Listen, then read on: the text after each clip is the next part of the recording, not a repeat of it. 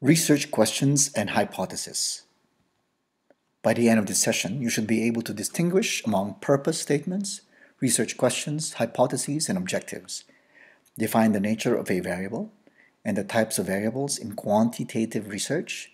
Define a theory and its test using variables. Write quantitative purpose statements, research questions and hypotheses. Identify similarities and differences between quantitative as well as with qualitative purpose statements and research questions. Define a central phenomenon in qualitative research. Write qualitative purpose statements and research questions. This graphic shows us a matrix displaying purpose statements, research questions, hypotheses, and objectives. On the leftmost column, we see intent, form, use, and placement. And here on the top row, we see the purpose statement, research questions, hypotheses, and research objectives. So when we take a look at intent for the purpose statement, it provides overall direction. For the research questions, the intent is to raise questions that need to be answered, hypotheses to make predictions about expectations, and for research objectives, the intent is to state goals. Form, for most of these items, we see that it should be written up in one or more sentences. When we take a look at use, for the purpose statement, uh, quantitative and qualitative research, uh, these are used in purpose statements. The same goes for research questions. It is employed both in quantitative and qualitative domains. As mentioned in earlier presentations, in earlier sessions, hypotheses are essentially used only for quantitative research. And then research objectives, typically only for quantitative research as well. Placement, the purpose statement is usually located at the end of the introduction. And then when you take a look at research questions, hypotheses, and research objectives, they are also found in the end of the introduction, after the literature review, or perhaps in a separate section of the study. Why are these statements and questions important? Because they represent major signposts, that the first, that's the first reason. They help identify appropriate methods, and they help link intent with the results. What do we need to know to design quantitative purpose statements, research questions, and hypotheses? We need to know three main notions. We need to be familiar with these variables, theory, and the elements that go into these statements and questions. So a variable is a characteristic or attribute that can be measured, right here, and, and that it varies, right? when we said it can be measured, it can be assessed on an instrument and recorded on an instrument. When it varies, we're saying that it can assume different values or scores for different individuals. Let's take a look at some examples. Leadership style, organizational control, autism, these are examples of variables. We also have some concepts that are difficult but possibly measurable variables like socialization, imagination, intuition, discrimination. But when we talk about uh, some other notions like subconscious thoughts, world poverty seen from different viewpoints, and stereotypes, it's almost impossible to measure these types of variables. Now, when we take a look at variables, when we take a look at them from the perspective of being a measure, we usually describe them as either categorical or continuous. A categorical measure is a value of a variable assigned by the researcher into small number of categories. For example, gender. The category of gender can be divided into male and female, for example. Another measure is what we refer to as a continuous measure. That is the value of a variable assigned by the researcher to a point along a continuum of scores from low to high. For example, age, right? So one could be 15 years old and another could be 95 years old. So there's a continuous, there's a continuum of scores ranging from low to high. A variable is an attribute or characteristic stated in a specific or applied way. Right? It's very specific and it is usually seen in an applied manner. A construct is an attribute or characteristic expressed in a more abstract and general way. For example, if you take a look at this, student achievement right, is essentially a, a construct. Right? And in order to be able to um, make sense of what student achievement is, the grade point average is an example of a variable. It's very specific, right? Um, and um, there's really no confusion about what this means. But when you talk about student achievement, it's, it's a very abstract concept. One way to look at it from a quantitative perspective is that it can be measured by, by grade point averages. If one looks at it from a qualitative viewpoint, it could be student satisfaction, it could be student voice. So a construct is um, abstract and more general. Let's take a look at the families of variables in quantitative studies. So we have um, usually this notation probable cause, x, and uh, y would be intervening variables, and we have the effect of the dependent variables. So the independent variables can also be called treatment or measured variables. They can also be called control variables, moderating variables. In between the probable cause and the effect, you find intervening variables.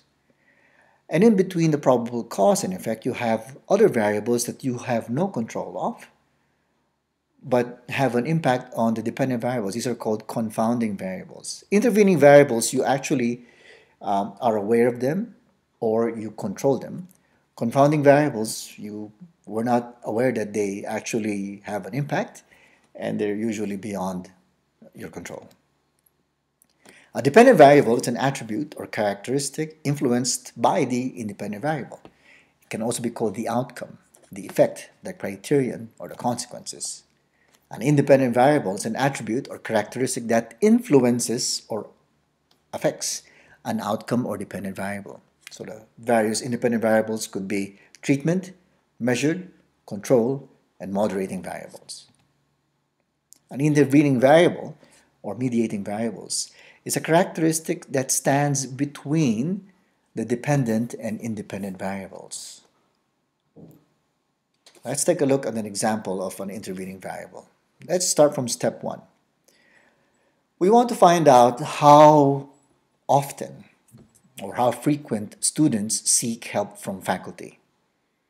So an independent variable that we could identify could be convenient office hours for students, right? If the office hours are convenient for students, we can assume that because of this cause, the effect would be that students seek more help from faculty.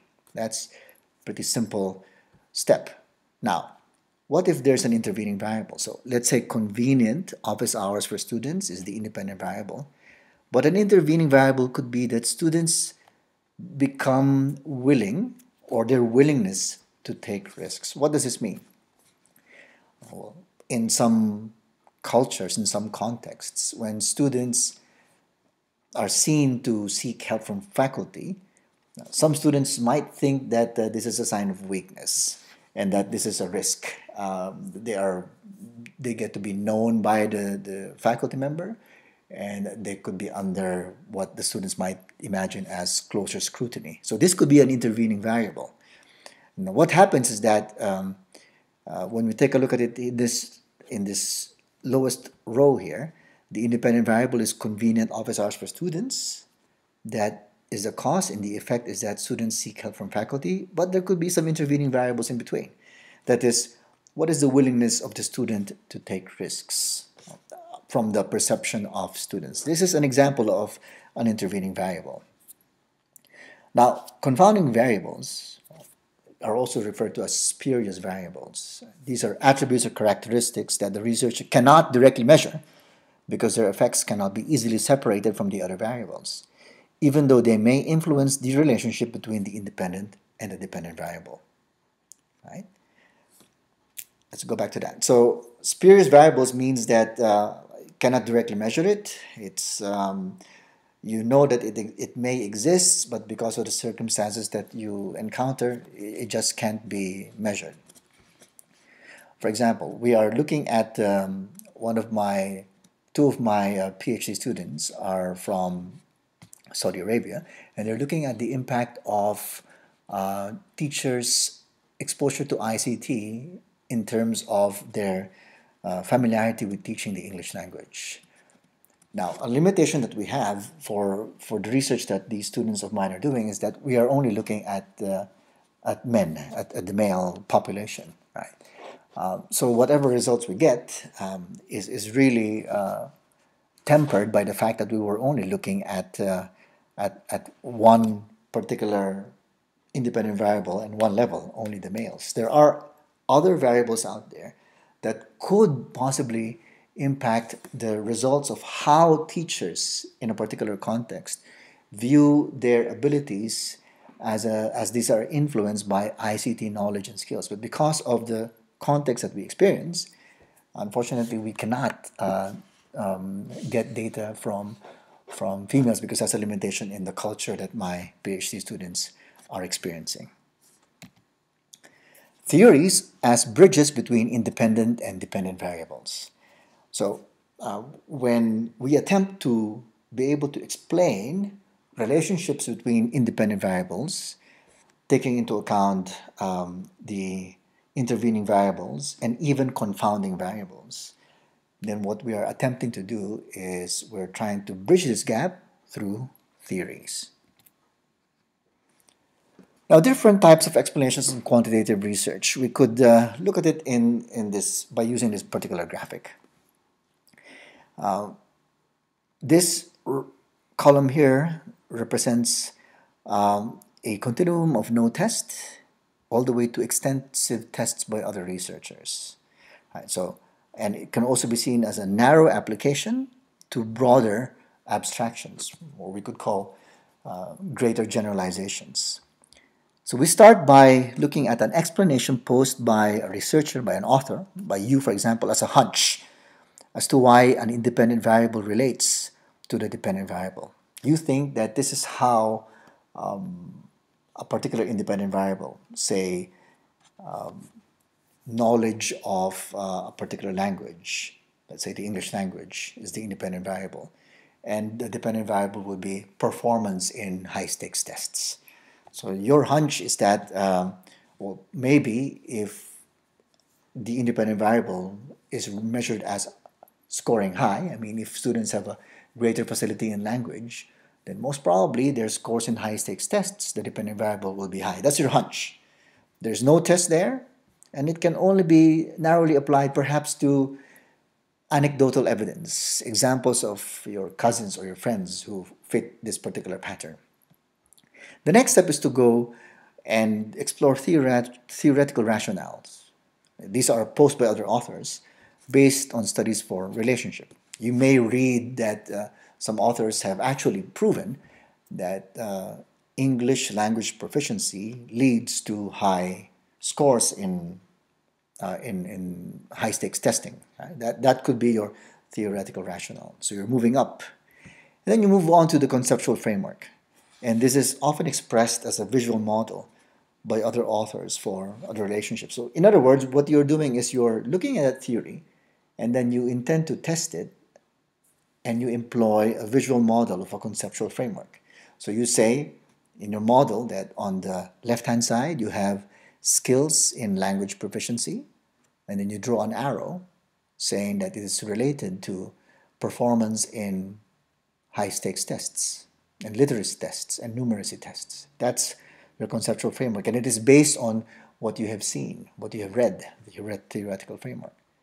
And then finally, you reach this level where you conduct extensive tests and you're able to make broad abstractions. A, a formal theory uh, is therefore expressed by connected hypotheses and variables that you have identified. So let's say your hunch, you moved it along the theory, you've conceptualized it, and you have tested it. You got a sample of students from uh, a broad base, from let's say the entire nation of Australia and you measured their uh, lit, their language skills and then you compared it with how they performed in high stakes tests and you're able to see a very clear relationship. That's how explanations are conducted in quantitative research. What are the elements of quantitative purpose statement? A quantitative purpose statement identifies the variables, the relationship, and the participants inside for research. Guidelines use a single sentence, use wording such as the purpose of the study. If using a theory, state the theory you plan to test. It's important. And then use quantitative words relate, compare, describe in looking at relationships between your variables.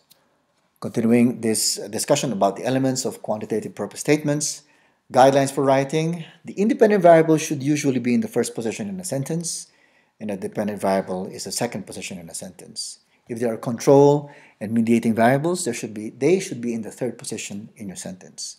Talk about the research side, talk about the participants. What about quantitative research questions? What are the types of quantitative research questions? Well, these questions describe results of your variables, uh, it compares two or more groups on the independent variable in terms of the dependent variable. In other words, two or more groups. Uh, we're looking at gender and we're looking at age. Two independent variables in relation to student achievement, for example, which is a dependent variable. So you're looking at how these two groups relate to student achievement. And then you relate two or more variables. You relate age and you relate gender, for example. Guidelines for writing, pose a question, begin with how, what, or why. Specify the independent, dependent, and mediating or control variables. Then use the words describe, compare, relate to indicate the action or connection among the variables, indicate participants and research side of your study. What are research hypotheses? You have what is referred to as a null hypothesis. And in quantitative research, it operates almost in, in a counterintuitive fashion. When we intend to establish a relationship between two variables, let's say, on the one hand, we want to take a look at language proficiency and performance in high stakes tests. Our null hypothesis is that there is no relationship that exists between them. In other words, there's no change in the dependent variable, right? right? For example, there will be no significant difference in test scores. Uh, I mentioned language proficiency. In this graphic, it says between fifth grade boys and girls, on the XYZ achievement test. That's the null hypothesis. And the purpose of quantitative research is to actually either reject or fail to reject the null hypothesis. You have a directional alternative hypothesis where you specify the direction of the change in the dependent variable the researcher predicts will take place. You might say that the fifth grade girls will have higher scores uh, on the XYZ achievement test than fifth grade boys. Non-directional alternative hypothesis essentially is just debunking the null hypothesis. It does not specify the direction of the change in the dependent variable. So essentially you say there's no difference, that's the null hypothesis, but once you've tested it by gathering data and comparing the scores, you therefore make a conclusion saying that there will be a difference in test scores on the XYZ achievement test for fifth grade boys and girls. You essentially um, reject the null hypothesis. Research hypothesis, how do we write these? We state the variables in this order. Independent, first position, dependent, second position, and control, third position. When we compare, we explicitly state the groups. If variables are related, we specify the relationship between these variables. We make a prediction about changes that we expect in the groups. This is our hypothesis. This is the, the, the real heart of the hypothesis. We make a prediction. The null hypothesis is a prediction. And then the results of the test of a hypothesis, either we reject or fail to reject, that's the result of our prediction. And then we state information about the participants in the site unless it repeats information already stated in the purpose statement. Now let's uh, talk about qualitative purpose statements and research questions. I'm doing this so that you can compare how qualitative is how qualitative statements are different from quantitative statements. So Understand how these statements and questions differ from quantitative research. Understand the role of a central phenomenon in qualitative research, as mentioned in earlier sessions. Uh, in qualitative research, we usually do not subscribe to the use of hypotheses. We talk about central phenomenon, and then we need to understand qualitative research as an emergent process. What are differences between quantitative and qualitative purpose statements and research questions? This graphic shows us that for quantitative statements, they're more closed, Qualitative, they're more open-ended. For quantitative, it's usually probable cause and effect. Why did it happen? There's a use of theories. Why did it happen in view of an explanation of a theory? Then we assess the difference in magnitude. How much happened? How many times did it happen?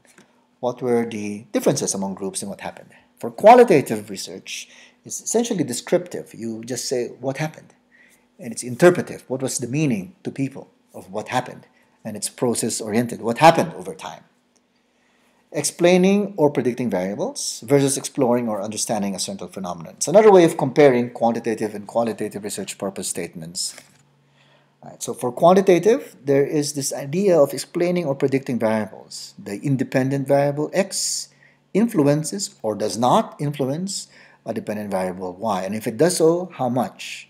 To what extent? For qualitative research, we were looking at um, the central phenomenon represented as y. We're just using y so that it's consistent with quantitative research.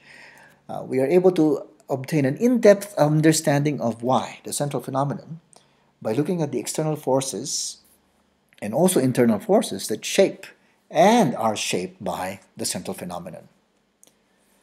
Two qualitative research considerations, the focus of the research is around a central phenomenon, not hypothesis which is an issue or a process that the researcher would like to study. Qualitative research is built on an emerging design. Elements of a qualitative purpose statement, single sentence, statements such as the purpose of this study, etc. You state a central phenomenon. Statement identifying the type of qualitative design is important, and that was what we discussed in the previous session. Qualitative words such as explore, understand, discover is, is, is usually employed. There's mention of the participants and the research site. Types of qualitative research questions. You have the central question. It's the overarching question you explore. There are sub-questions, and these can be divided into issue sub-questions or procedural sub-questions. The issues narrow the focus into specific issues. The procedural sub-questions indicate the steps to be used in analyzing the data in a qualitative study. And of course, we have the interview questions. The questions that are asked during your interview that are based on the sub-questions and central question. I suggest that you undertake this individual work, looking at the suggested article by Paul and Anderson, Pressure to Perform, Reviewing the Use of Data Through Professional Learning Conversations. I'd like you to sort of reverse engineer this article, identify the key research problem, recognize the literature used, spot the purpose of the research, ascertain how data was collected, determine how analysis and interpretation was made, and describe how reporting and evaluation was done. Why are you doing this, reverse engineering? In quantitative and qualitative research, there's a big, there's a very strong school of thought that says that the best way for, for practitioners and scholars to learn is to delve into primary sources.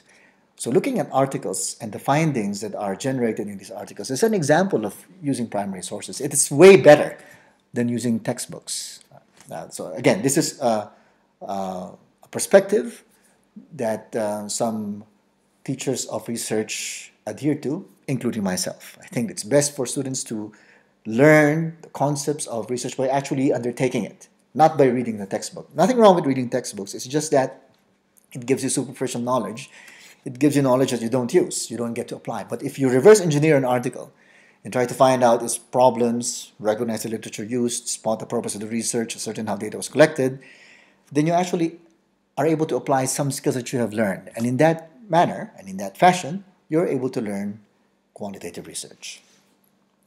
In relation to the article that attempts to relate teacher characteristics with student achievement, give your comments as a personal reflection on how a relationship between teachers' practices in the article it's described as professional learning support how is this relationship affect student achievement? Or what can you discover by making use of this type of research? Give examples. How useful would information about the relationship of teachers' practices, for example, professional, professional learning support, as using this article, and student achievement be to schools, to teachers, to you, for example? Be specific and give examples. That ends this particular session. If you have questions and clarifications, please do not hesitate to get in touch with me through the email indicated on the screen. Thank you.